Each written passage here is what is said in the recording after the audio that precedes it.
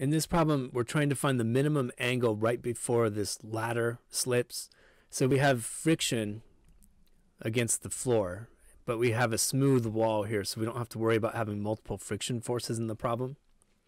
So as I start to put in all the forces that are acting in this problem, first the wall can exert a force only perpendicular because it has no friction.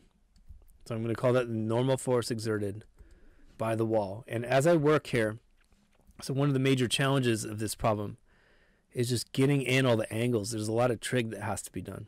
And I immediately see that this angle must be theta. It has to be equal to this angle. If I remember correctly, those are called alternate interior angles. And then, of course, I have gravity pulling down on the center of mass.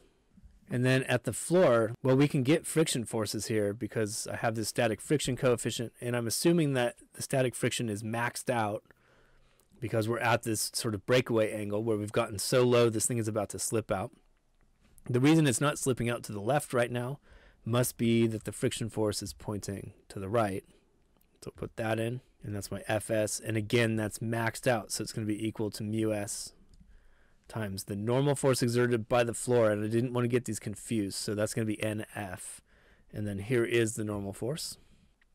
All right, so I'm going to start out with a torque analysis about the contact point with the floor. And the reason I'm choosing this is because it wipes out two of our forces.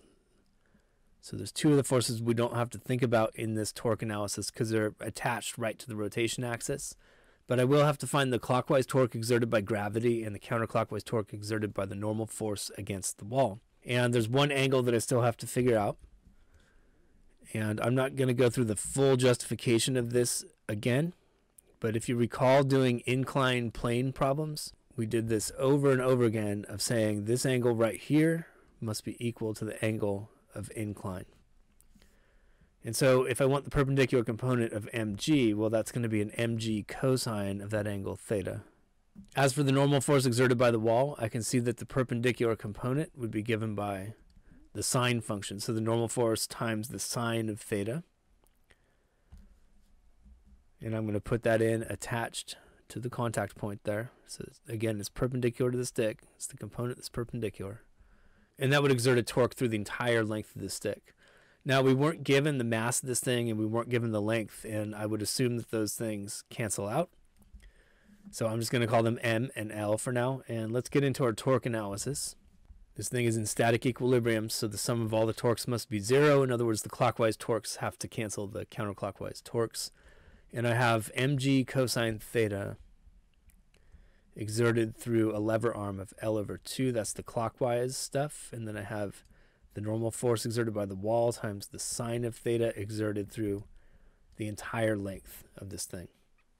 So there's one useful equation. So what am I going to do next?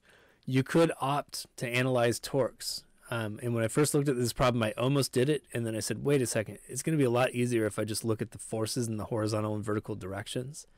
So I'm going to use this condition of equilibrium. The sum of the forces in the x direction must be zero. That means everything pointing to the right must be equal to the sum of everything pointing to the left. And I look at all my rightward pointing stuff, and there's my static friction force. And there's nothing else pointing to the right. There is one force pointing to the left, thankfully. If there wasn't, this thing couldn't be in equilibrium. And so there's my second useful equation. Finally, if I analyze the forces in the y direction, I get that mg pulling down has to be exactly equal to the normal force exerted by the floor pushing up. Those are the only vertical forces in the problem. So there's my third useful equation. So then I can attack this just with substitutions. I don't have to do anything fancy. I'm going to replace NF with mg in my second equation.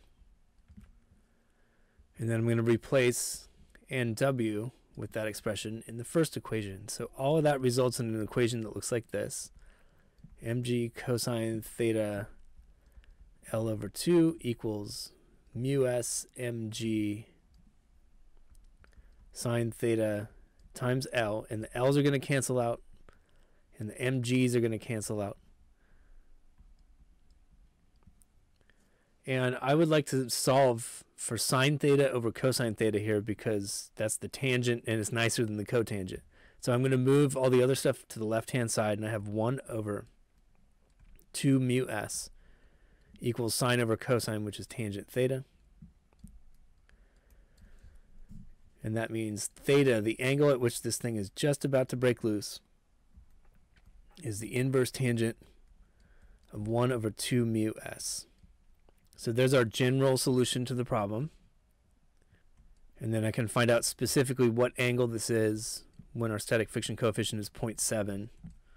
And when I crunch the numbers, I find that it's 35.5 degrees. So when you work a problem like this, I would encourage you to actually experiment physically. Uh, take a ruler or something and just lean it up against the wall, and it'll just sit there. Go to a lower angle and a lower angle and a lower angle, and eventually it's going to break loose and slip.